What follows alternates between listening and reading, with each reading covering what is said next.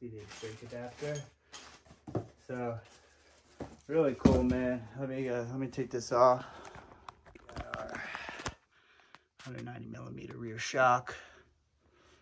We got our chrome front forks with the number plate and the fender, all the goodies inside, brake disc, handlebar, stickers, and the front wheel.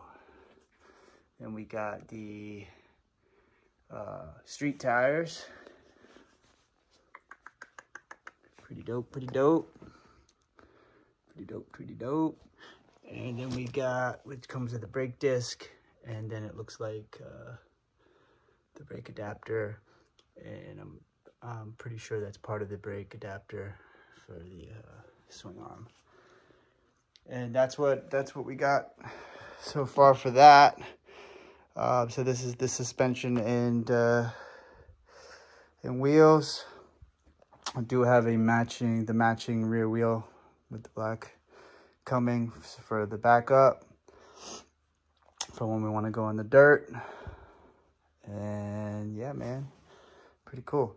I get this stuff uh, installed and we'll be a we'll be a roller and then um, we'll go from there. We'll start getting, we, we already got the battery. So actually we already got the battery controller. We have everything. We have everything except for the, uh, the extended, the other extended swing arm. That's it. So I'll do a little uh, install video of this, I'm probably going to start putting together later.